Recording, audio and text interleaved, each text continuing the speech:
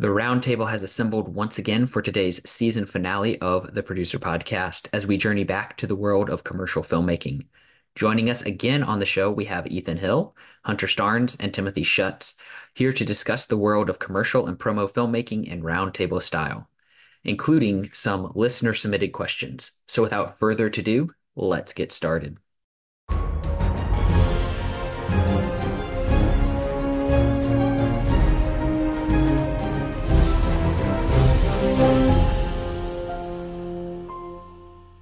Thank you, Hunter, Ethan, and Timothy, for coming on the show today. Sure thing. Glad to be here. Having us. Glad to be here. You've all been on the show before, so we're not going to get into how you all got started making films and that. People can go listen to those other episodes if they want to hear your backstory. Um, but I thought kind of a fun icebreaker question would be uh, to just share like why have you decided to work in this more client realm of the industry instead of being in the narrative side where like you're in complete control and can really be creative as some people would say better pay I mean, that's it for me. I'll be honest. The better, better pay. If people uh, will pay me to do, um, you know, client work and work for them, um, I'm not getting at the moment. I'm not getting paid for the kind of work that um, I guess would be more creative that I would want to do. So ultimately, ultimately, that's what it is. You know, you ask yourself, what do you really want? You know, and for me, it was I want to take care of my family and want to um, have that income to do so and still be in the field, which I love, still being behind the camera for the most part. Um, and so it allows me to have the passion of being behind the camera and at the same time the passion of just caring for my family. Um, and so that's a short answer for me. Yeah, and I definitely piggyback off that. Uh, the pay is definitely a big part of it, and I think most of us probably got into filmmaking, at least myself personally, uh, for the fun of the short films, the narrative films, the feature films, whatnot, and then you know naturally pivot into work that pays a little more, that pays it all, and uh, makes a yeah, just makes it more feasible as far as a career goes. Yeah, I mean, pay obviously, um, but I think also I would say as well, like the when I was working in the feature space, it was so much more stressful. Um, you know, where you were getting your next job, or you know, even when you're on a set, like just like just the stress of the set itself. And so while obviously corporate work has a lot of stress and a lot of deadlines, it's a lot easier, in my opinion, to maintain a consistent lifestyle, you know, setting boundaries and being able to spend more time with family, you know, having dedicated weekends off, you know, that kind of thing, which obviously can happen in the film space, but it's it's a lot easier to be like, oh, we need to shoot on a Saturday or something like that because that's the only time that we've got everyone here and the location can do it, you know. So that's been a huge benefit for us and my family of just like that's I mean why we made that shift was just the regularity and the consistency and being able to have set patterns a lot more. I, I will say I agree. The pay is definitely a uh, nice factor of that. I can, yeah, probably count on one hand the amount of narrative projects I actually was paid for. Uh, the rest have all been uh, volunteer, blood, sweat, and tears. and the narrative projects are a lot of fun to do. Like, don't get me wrong. If I could, like, I have no uh, regrets about any of the narrative projects that I have been a pleasure to be a part of. But, um, you know, I'm not at the point in my career where I can be paid for doing that kind of work. Um, others have and make a career out of it. And I think that that is amazing and great. That's just not the path that God has led me down for various reasons. And, um, you know, someday, though, the goal is to make enough money at commercial work, um, wedding work, whatever it might be, in order to spend more time on passion projects, whether that be narrative or documentary or things like that. So, yeah, know, Lord willing. Oh, I'll, I'll add to that that's like I don't think I know of a single person in the corporate space that doesn't have something on the back burner that they want to do eventually, you know, something narrative or, you know, even if it isn't specifically like, oh, I want to go make a feature film or short film, you know, doing a spec piece or something that's like that's not just the standard corporate, you know, making a video for someone else, so to speak, or project for someone else. It's I want to do something that is my idea, you know. So I think that's always there to some degree, but yeah, it's the the the necessity definitely comes into play. It's like, okay, cool. Well, at some point that'll be nice to do, but not right now. Mm-hmm. Yeah, for sure. One other thing, I think commercial often gets a bad rap just for the lack of creativity. And on a lot of projects, I guess that is true. But there is a certain amount of, I'll often include in my pitch for a client for a project, I'll include like a wild card um, proposal. And that will just be what I think would be a great way to solve whatever problem is that they're having with some random video, whether it's a story or whether it's just something way out there. Oftentimes, okay, not often, sometimes the client will actually go for it. That's a neat That's... idea. I know some people I'd be scared to share that idea with. um, but uh yeah, no, that's that's cool. That is also um how I got a recent um corporate gig with a architecture um company here in the Dallas area.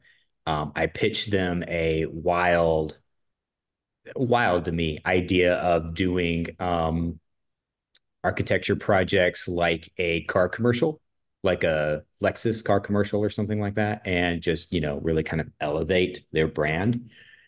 And um, while that is still in the works, I did two other projects with them, and they just ended up being typical, you know, very typical corporate videos of you know like these are interviews and then these this is b-roll of the the building and people enjoying the building and things like that. So um, the goal is to take it to the next level eventually and they love the concept that i pitched to them and that's partly what got me the job but at the same time it's like well this is what i was this is what i had to work with and this was the best way moving forward and the client ended up liking what i produced anyway. Myself i was a little disappointed that i wasn't able to take it to the next level but again that's going to be me on every project. I'm going to be a little bit disappointed in myself you know about how i didn't succeed in my mind you know? Um but i think having those big ideas and being excited about the work that you are pitching to clients is a good attitude to have and something that I think will impress them and hopefully get you more work. I have found that to be the case anyway. Since we, we kind of got on their pitching projects to clients, stuff like that, um, another topic I wanted to hit was um, just how do you guys decide if you even have the capacity to take on another project. You don't I don't have. I was about to say I don't have those safeguards, so I I've got nothing. Sorry. I just try to make it happen, and I would say editing the amount of editing that's in the backlog is usually a deterrent to having projects done. Um, or I should say, having the time to work on the projects that I want to do.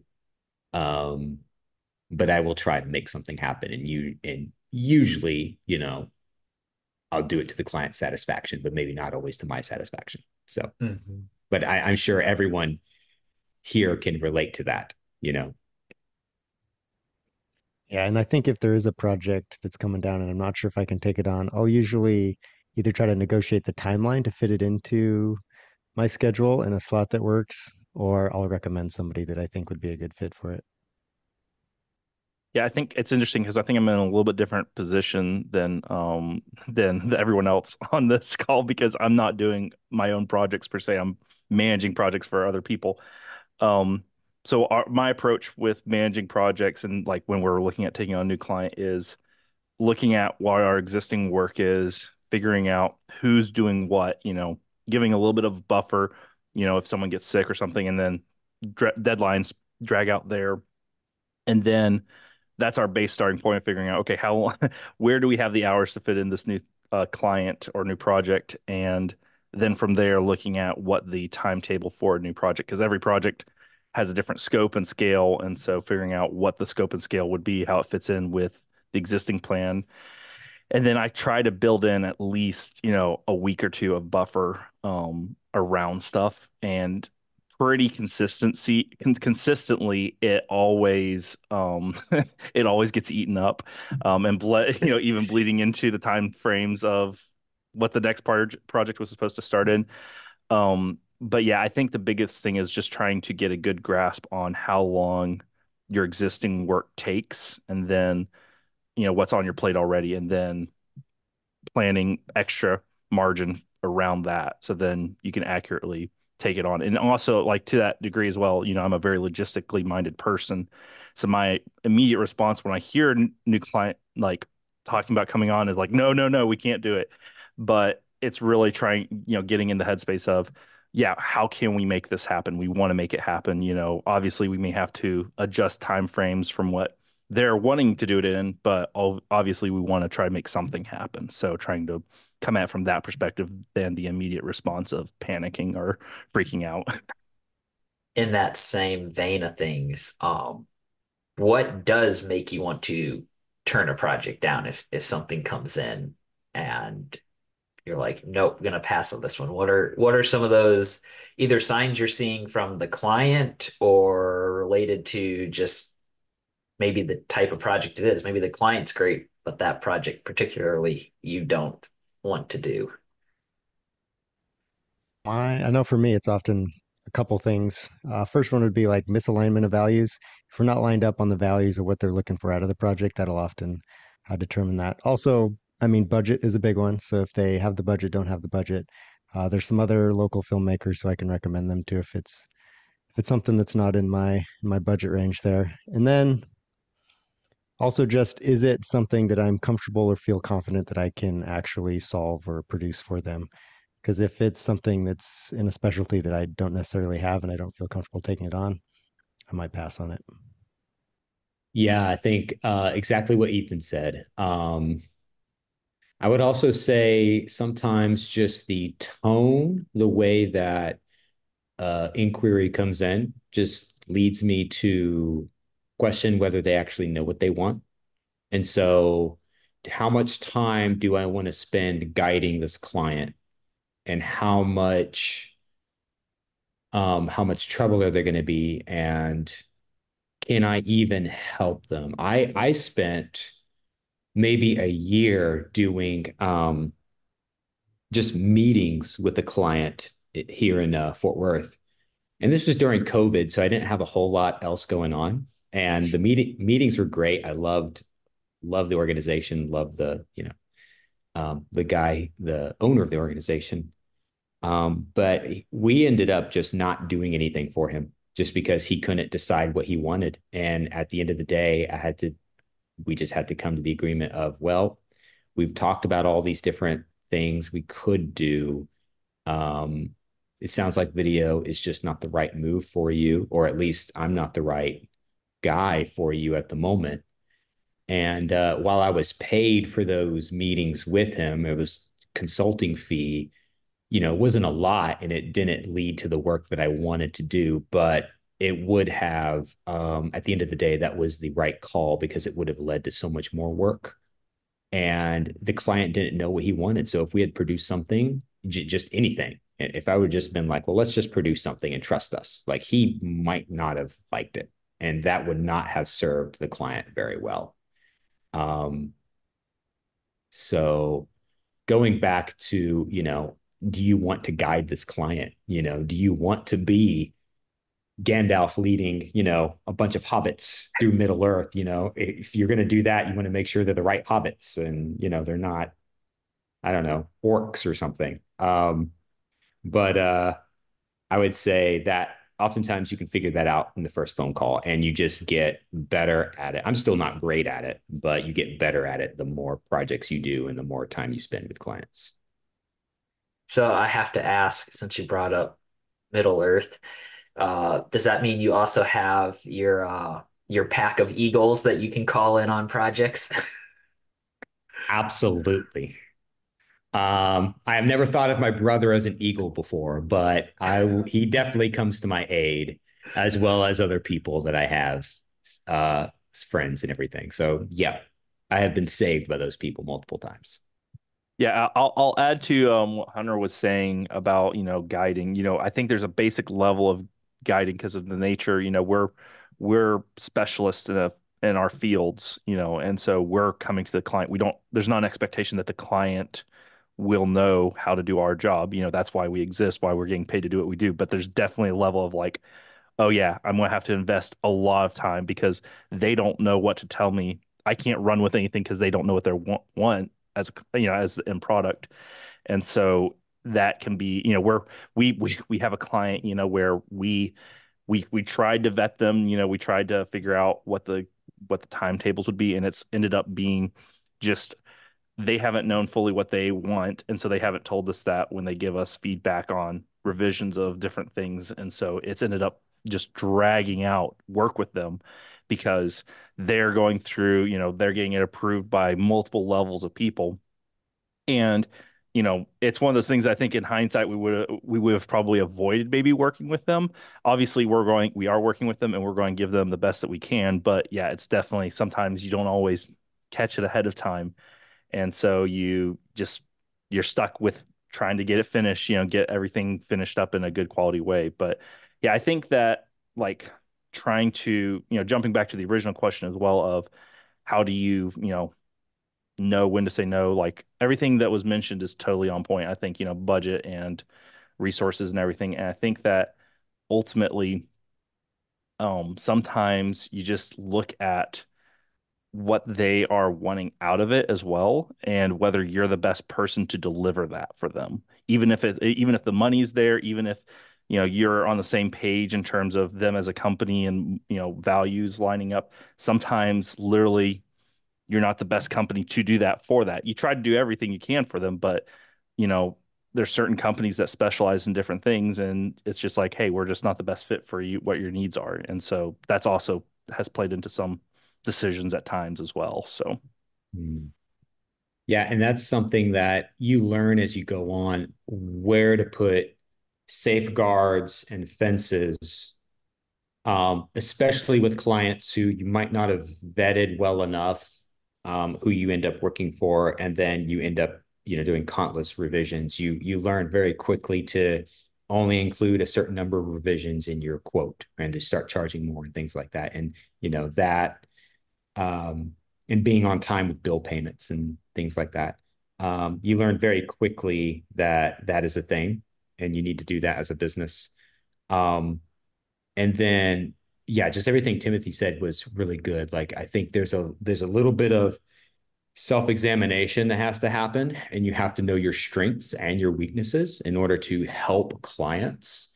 And the more that you know yourself, then the more you're going to be able to help your clients and also make sure that you work on jobs that keep you happy and sane, you know, as a creative. Um, you know, sometimes it is just about do I really want to do this project or am I just doing it because of the money or because there is a um you know, because I'm afraid because my bank account is low or I don't have any gigs lined up currently. I have certainly been bitten before where I would book um, a lower paying job because my calendar was free and I acted out of fear. And then something else bigger came along and I ended up having to stick with the lower paying job, you know, just because of reputation and, and that was the right thing to do. Um, and you know, I, I give discounts oftentimes for, you know, if there's a last minute gig and it's like, this is our budget and I'm available and I don't if I don't mind doing it, I'll take those. Um, or even if I know typically I'm going to be not busy in January or August, like those are my slowest months, then I may take um, a lower paying gig months in advance just to you know fill a, a historically low time.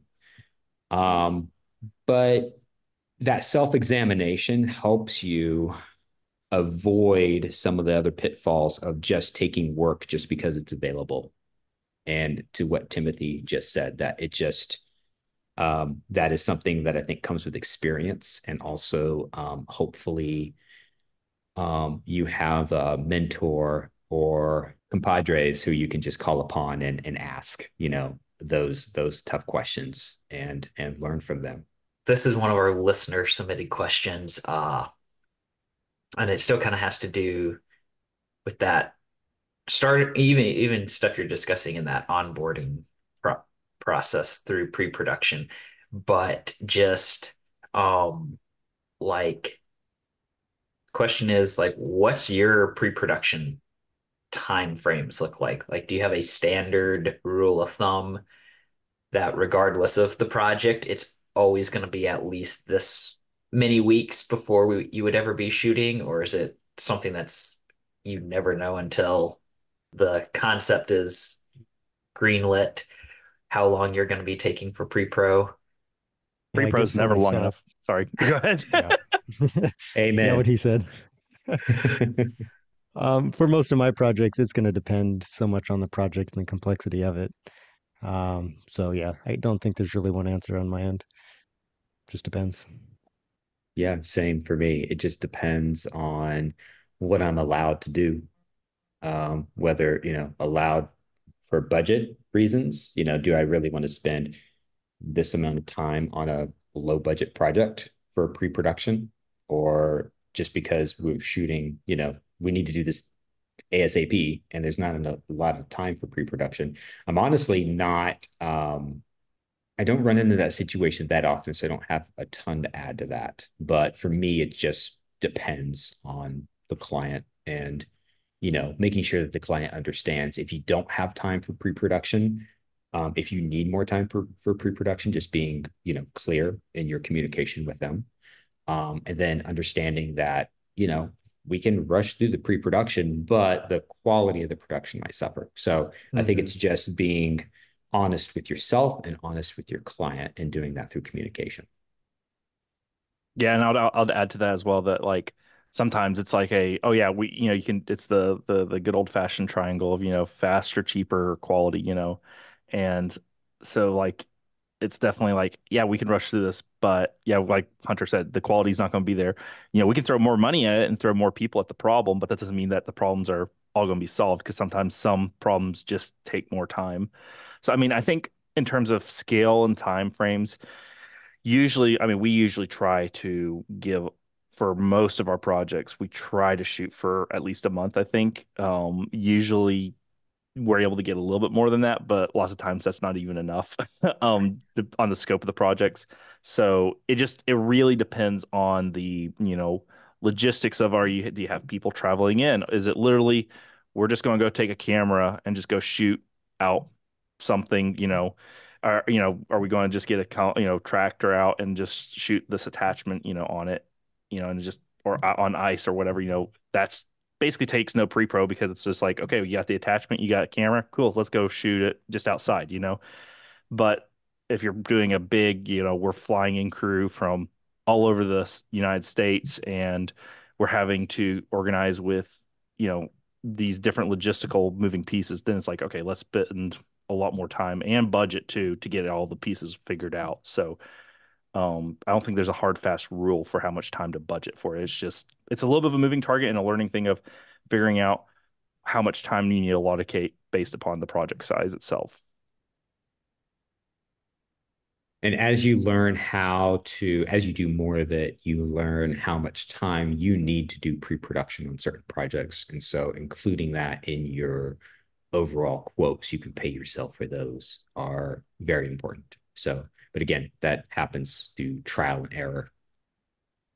I would be curious, just kind of on that topic too, to hear like what are the, kind of the biggest factors you guys then look at since for most of you it's also fluid based on the project so what factors are you looking at to decide is this a three week pre-pro project or is this a one week you know, we can get it all done.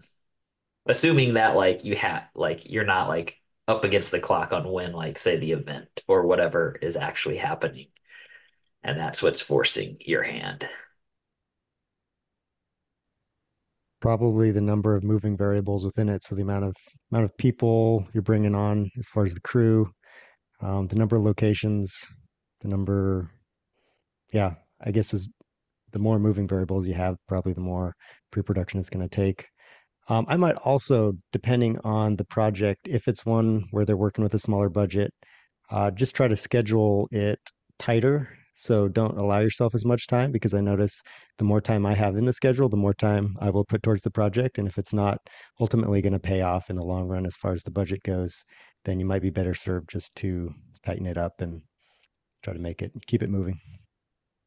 I would say, uh, you know, it, it sort of ties in, but you know, uh, shoot days as well. Like, I mean, that plays into all that as well. You know, there's there's so much of the details, right? That whenever you are just starting at looking, you know, you've pitched the project and you're just looking, you know, it's approved and you're now starting the early stages of pre-production. It's like sometimes hard to tell like exactly what the numbers are. You don't know where you're going to have to pull crew from. You don't know all this stuff, but usually you can take, you know, a good couple hours and just okay, let's just ballpark. Let's figure out a bunch of these details. It's not going to be final by any means, but then you can get a lot better estimate of okay, what are we actually looking at scope wise here?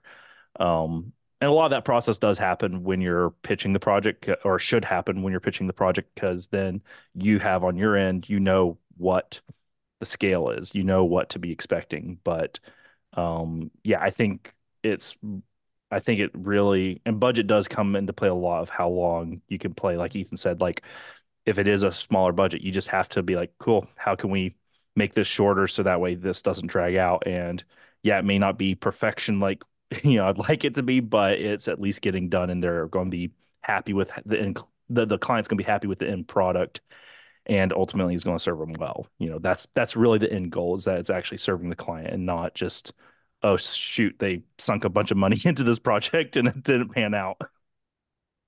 So not only, I mean, everything what Timothy said, but also making sure that, and again, this this goes back to how much experience you have to it, but but like set a set a time limit for yourself, even though the client might not have set a limit. Like I think it would be smart to realize how much budget, how much you're actually going to be paid for this and then realize, okay, this is how much I have to work on this. So set limits for yourself. Um, setting limits actually helps you to, and, and I'm I'm saying this as I am the worst person to set limits, but this is something that I have come to realize about myself that I need to get better at. So I've been thinking a lot about it. But setting limits, boundaries, so that it forces you to spend more time on what's truly important. Um,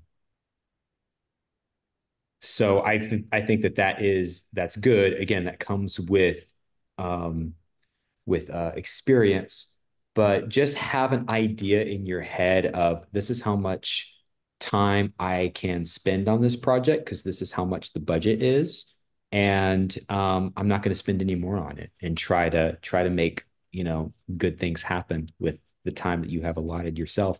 And I will say that uh, also depends on how excited you are about the project too. You know, like if you're really excited about the project and it's a little bit of, you know, passion meets um, paid work, which does happen. And it's pretty great when it does. Um, you know, give yourself a little bit of extra time to work on it, but that's your call. But do practice setting boundaries, which I am trying to do in my own life right now. So, anyway, do do as I say, not as I do. I guess um, I need to follow my own advice. So anyway, yeah. On that on that same topic, I think even if it's not just boundaries, but even if you're just tracking the amount of time you're putting into something, so that you can look back on this project and figure out, oh, I spent this much on this much. I should probably work on that. I know for me, I brought on a video editor to do a lot of my video editing. And it is interesting seeing, okay, I didn't know I spent that much time on this sort of a project. You know, this is good for me because when I go into budgeting the next project, I need to, you know, be aware of that and budget accordingly. Um, so yeah, I guess uh, just breaking down projects you've already done, it would probably be a great indicator of how much you're going to need in the future. Yeah, I mean that, and that's even exactly where we're at as a company of like trying to actively document how long things are taking Um, you know, especially with different, we've got different skill levels that are working on different aspects. You get may get a video editor that's not as experienced as the guy that's on our team doing the majority of our video edits, and so he can do a video edit like three to four times faster than this other guy. But you know, we try to budget when we pitch to the client, hey, yeah, this is the video that we're doing. That we've got enough budget for this other guy to do it, but so that way we can look at when we're even pitching initially okay how much is this going to actually take time wise you know if we have so and so work on this project or how much time does it take me to work on it? Um so yeah i think honestly having time management lots of times gets a bad rep for you know oh it's being so constrictive but the reality is is time management helps you as you're doing projects to be able to do them even better because then you are able to look at your schedule and go okay this is I need to dedicate this time to working on this. And you can go all out during that time. You know, that's your time to go all out for that project. But then once you've hit that time, cool, you know, where where we need to move on to the next thing. Um, and then I would also add with that, you know, I margin is a huge like I feel like that's like my big like if I had a billboard assigned to me, that would be what my billboard would say is make margin in your life. Am I still working on that? Yeah, but um, it's a huge thing because then if something comes up with the project, then you've got that margin built in. Because like I, I've yet to be on a project where something did not come up that was unforeseen, and so like you may have everything planned out logistically for the actual planning, but then something comes up unexpectedly. You know, you're sick one day or whatever, and so it's like you can't work around that. You know, lots of times, and so you just have to have margin so that way you don't get backlog and then you're further behind and you're trying to work on the backlog and then something else comes up and just just and just starts an avalanche of just being behind which you don't want. Yes. I think this will this one will be interesting um to hear from you guys but how involved are your clients on like the producing side of projects? So i know some companies where once they book the project like all they do is email the client updates and or like review of edit passes and that's it. And I know other ones where sometimes somebody on the client end is almost like a line producer on the project and helping organize locations or personnel and stuff like that. So do you guys commonly operate one way or the other or does it kind of flex for you based on the project? I'm interested in this question too, so I'm going to let the other two guys handle this.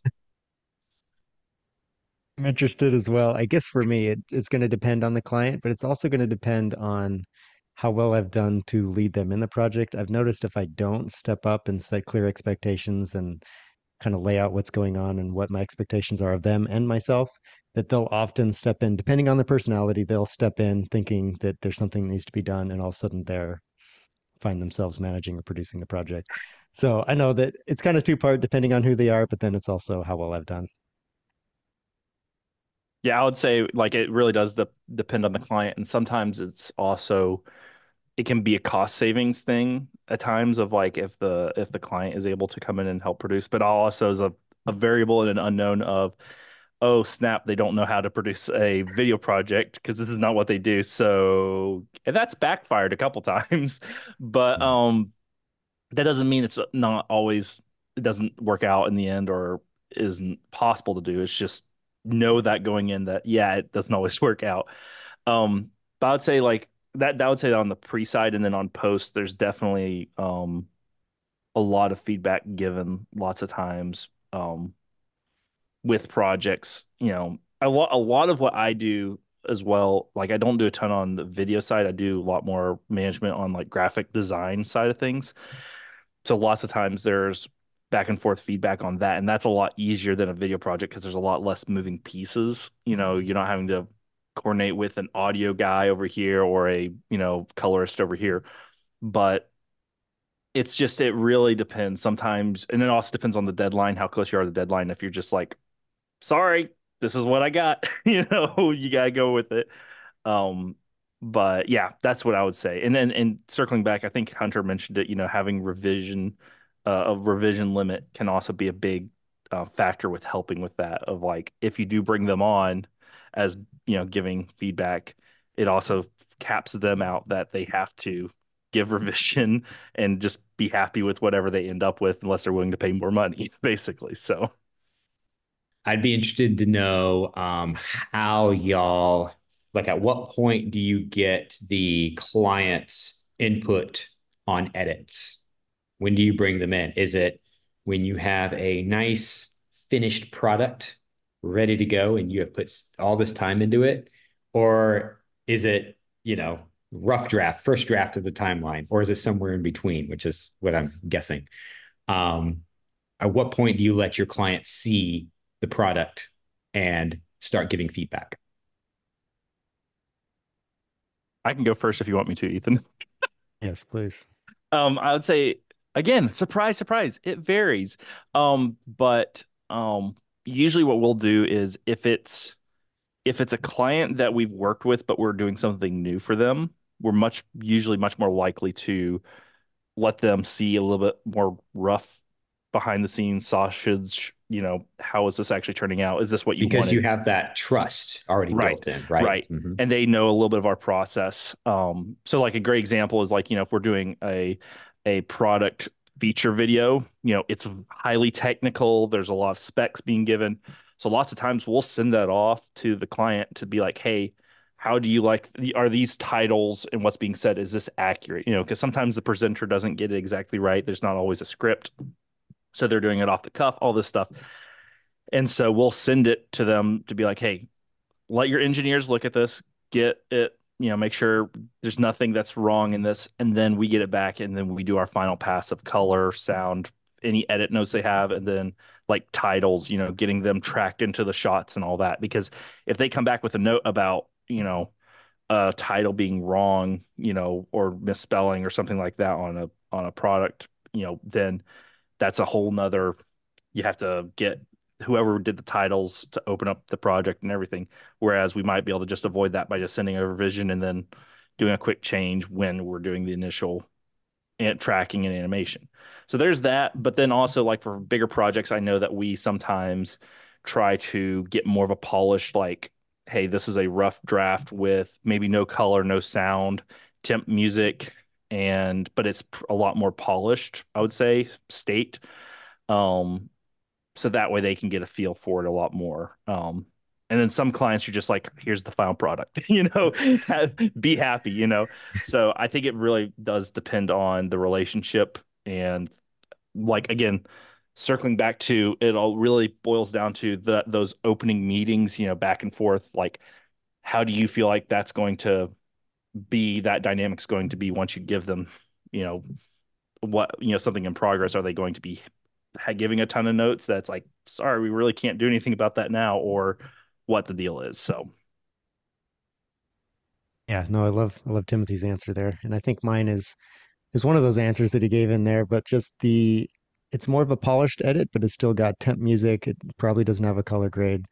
The titles are probably just uh, just in there temporarily that way and i try to be clear about okay here's what we have done here's what we have not done just so otherwise they're going to be hey you're missing this you're missing this this doesn't look good. So i try to be clear about that just so that they know what we're working on. But then ask for their feedback on whatever aspects that i feel good about so that if there's something that we can't update at this stage then we can get that updated in there. But uh, yeah it does it does kind of depend because there are certain clients who i won't send anything but a finished finished edit otherwise yeah, they'll point out every little thing that's not that's not done yet.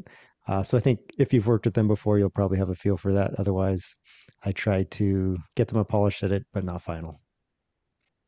That's good. That is uh, similar to what I do. So right now, what I do with a certain client I'm working on working with right now um, is that I will send them a uh, an edit where I feel like the story is there and all the B roll is there, and like I, am very happy with the edit and the way it flows and everything. Um, I usually work with I don't work with a composer, so usually the music I choose is the music, um, unless they strongly dislike it. Um, but that is the you know I'm like I'm presenting it as kind of a final product in a way, but I don't really touch color.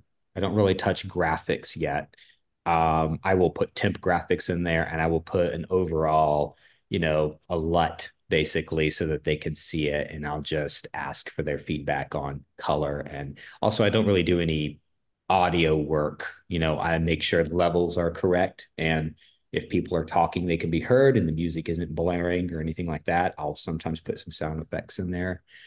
Um, but that's kind of what I do with most of my clients. Um, but I love y'all's answers because they're a little bit more nuanced and it, I, I can see where it does depend on the client and the relationship you have with them, how much they trust you. And so, yeah, so those are good And- answers. And and I would also add, you know, it also depends on what the working relationship is with the client, you know. So like take for a features film, you know, you're going to maybe be meeting with a studio exec exec, you know, that is, you know, maybe one meeting and you're showing them the final product. You know, that's the thing that you're showing, but you might have to run it by legal or something like that before then or, you know, someone else from the studio type of thing. And so there's a lot more. It's like almost the bigger the scale the project is, they're more like levels of like getting it feedback and everything goes through, but it just really depends on everything with the client, you know. And so, yeah, that would, that's all I had to add on that. Heard that. So one thing that because I've recently been doing a little bit more post managing as well that I've seen is sometimes it also depends on what your deadline is. If it's like this is a hard deadline because they have to have a video for this big event, um, then maybe we're starting to show it to them earlier because we don't have that time to make a big pivot if they don't like the way things are looking or going. But if it's a project where they're like, oh yeah, as long as it's done by the end of the year, because we're not releasing it until the first quarter of, you know, 2025 and we're at like August, then maybe we work and get it more polished because we have that buffer zone in as well. How do y'all determine who the decision makers are? Like, do you set a limit of how many cooks there are in the kitchen when it comes to that post work? Um, I, I think it again it varies a little bit by project and also like how much you really want to um how um important the project is in a sense of like, oh snap, we really gotta make this good. Um, because if it's in an internal pro video or something like that, it's like, I mean, yeah, we'll just make we'll make it good, but it doesn't need to go through 10 revisions, you know. But um something that I'm a big personal huge fan of personally is I love getting feedback from people that I trust.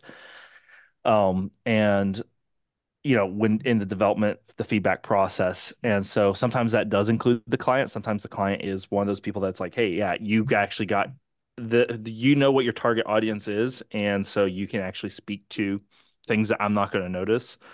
Um, but very much having someone ultimately that is you know the buck stops here both on the production side and client side so if the client brings in people for review there's this one person that does make the ultimate decision that is hey yeah this is the way it's going to be as well as on the you know on us as the contractor side who you know what that where that buck stops you know? And so um so that way you even with all this noise of feedback you can pick you know that person can pick and choose what they're going to implement.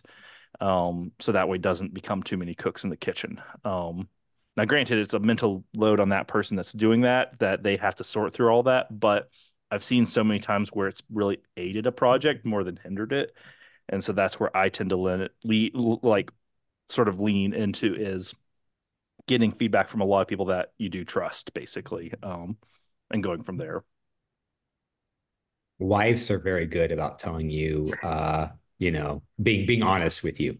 So oh yes hot tip there. No, that's good. That's good. I uh I don't know that I have a ton to add to that because it's definitely not my strong suit finding out the de the decision maker up front. I do think it is helpful just having that conversation as you're scoping out the project, as you're onboarding the client. Um, if you can bring it up in a way that's, I know I did it once and it came across as offensive because like, so who's really in charge of this project? So you got to do it tactfully, but uh, just figuring out who it is that we also have to get approval from just so you can go into it knowing that. And then when you send over the revision, you can kind of indicate that, you know, it'd be great or send over, sorry, send over the, the rough draft or the fine draft, wherever you're at, that, uh, that they get eyes on that as well. Mhm. yeah, I think if there's a way you could figure out how to figure out who the decision makers are going to be in their respective fields and then understand who those people are. And then if your client is comfortable with it, reaching out to those people directly within the company so that you can limit the amount of, you know, through the grapevine communication that happens. Uh, that's not always the case. Uh, I have a client right now where, you know, I'm just going through the one one person and she gets it to all the different departments who need to have a look at it.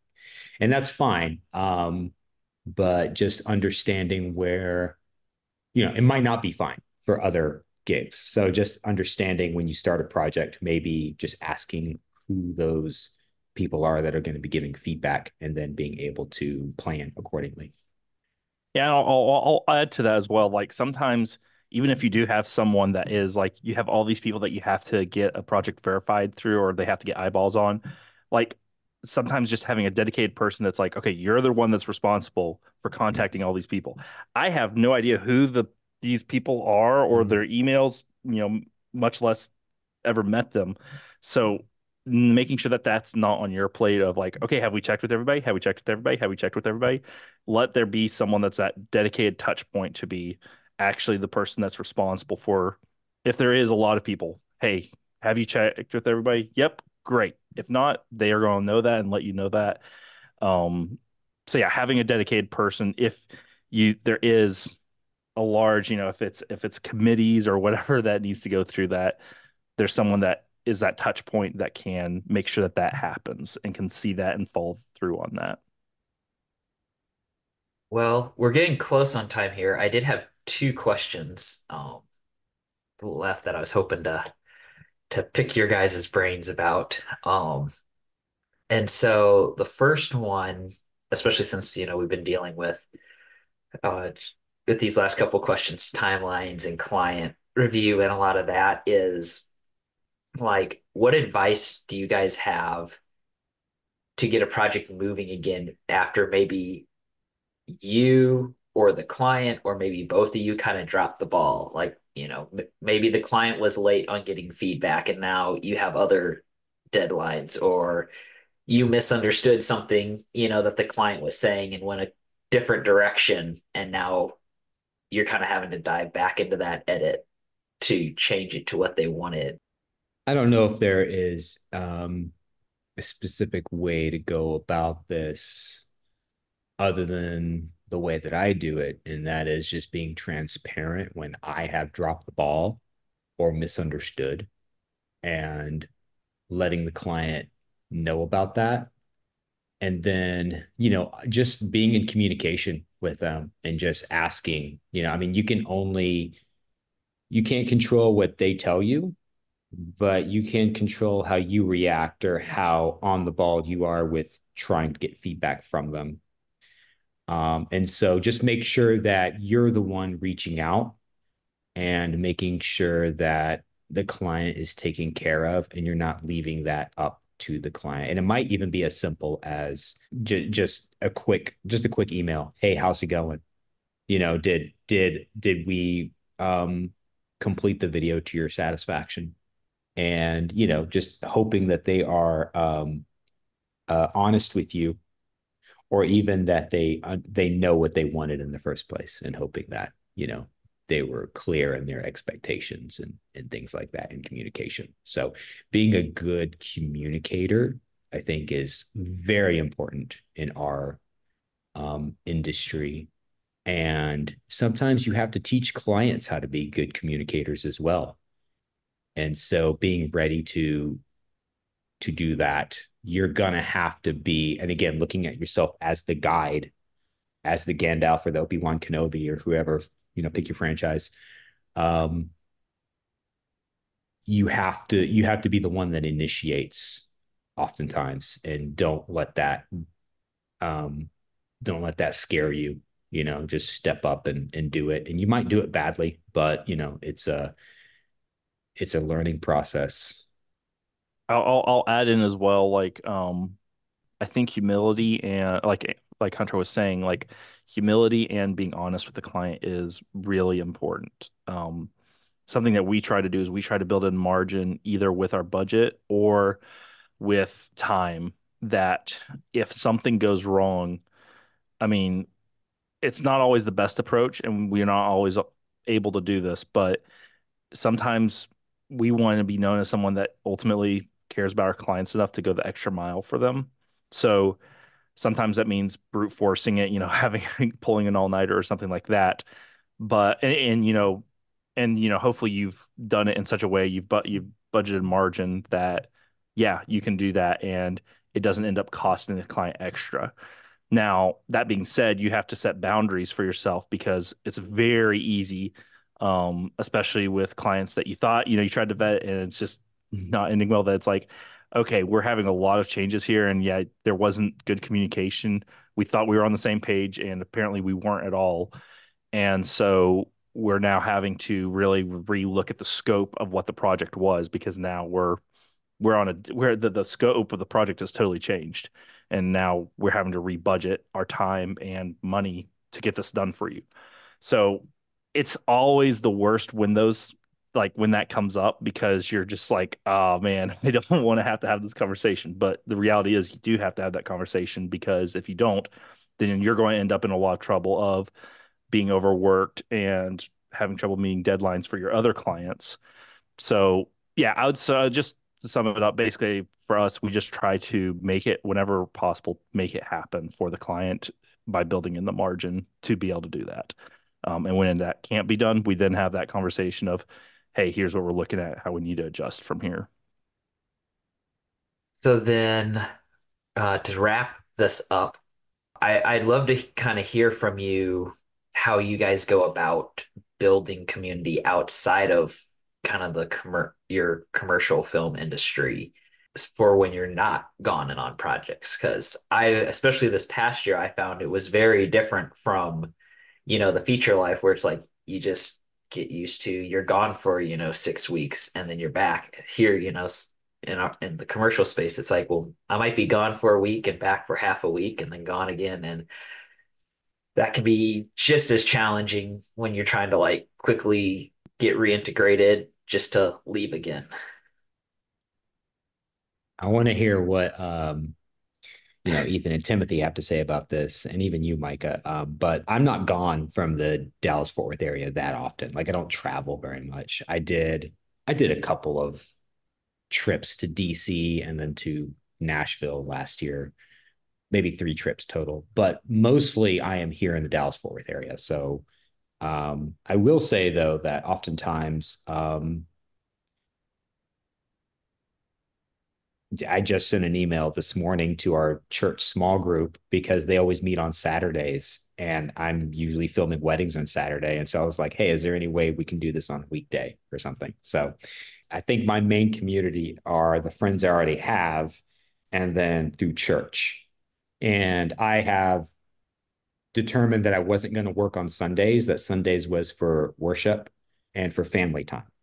And so that is one way how I stay sane. I've had to turn down some gigs, but you know, that's the way it is. And um, I think it's just being intentional about um, your time and what you need as a person and as a you know follower of christ we're meant to be i believe we're all meant to be in community especially if you're a christian in the church community and so just making sure that that is a priority in your life i'm probably very bad at um, balancing all of that so i'd be interested to hear from from ethan and timothy especially regarding with you know what you guys do for travel i know ethan you travel a lot as well so I'm I'm listening. Yeah, yeah, I guess.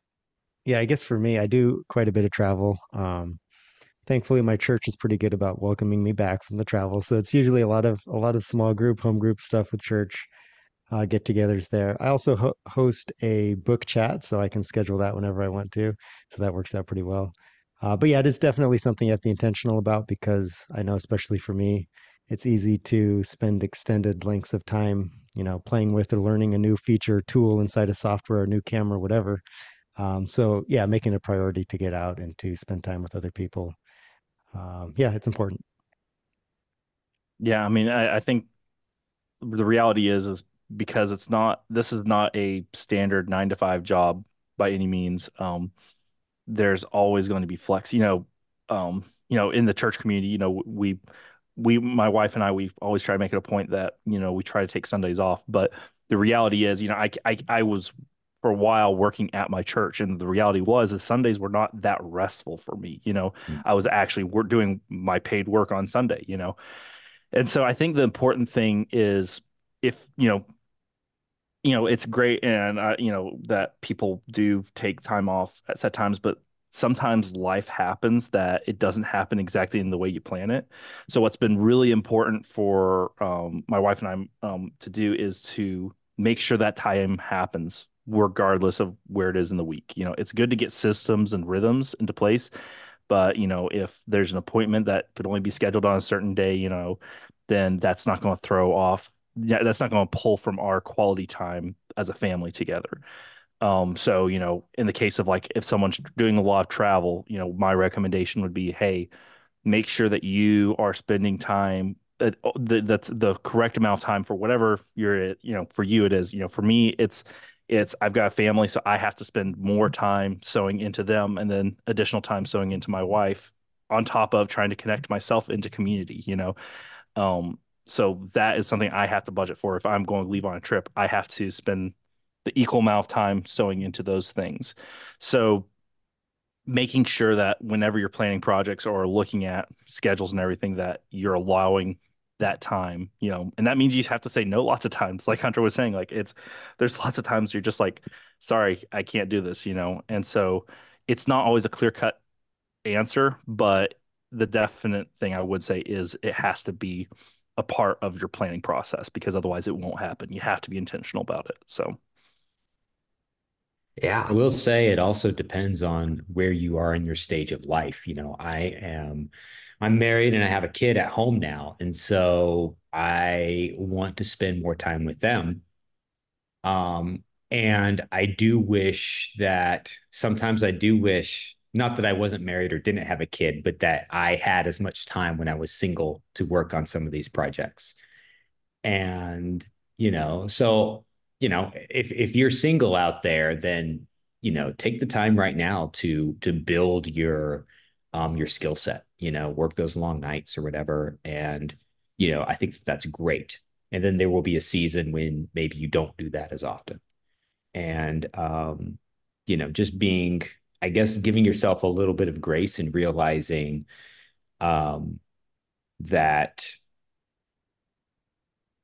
you're you are in you might be in a busy season and that sometime you might be in a not busy season you can spend more time with your your friends and family and that's okay you know as long as you are using wisdom and getting feedback from the people you love and that are in your life and making sure that you're not um, ignoring anybody or letting relationships um, deteriorate because of your job, then you know. Um, I'm sorry, my wife just called me, and I realized my phone did was not on silent. I was super embarrassed, and now that my train of thought just went out the window.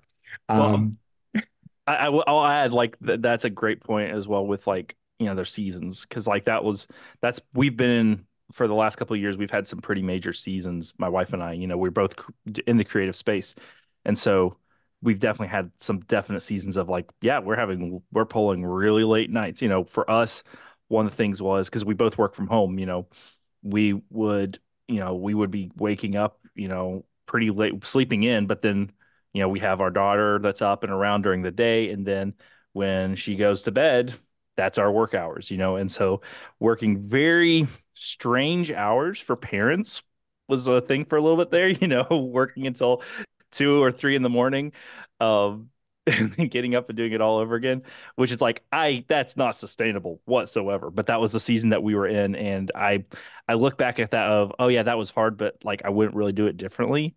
Um, so yeah, recognizing that there's seasons, you know, even if you are married or single, wherever that there's work that's more, and then lulls.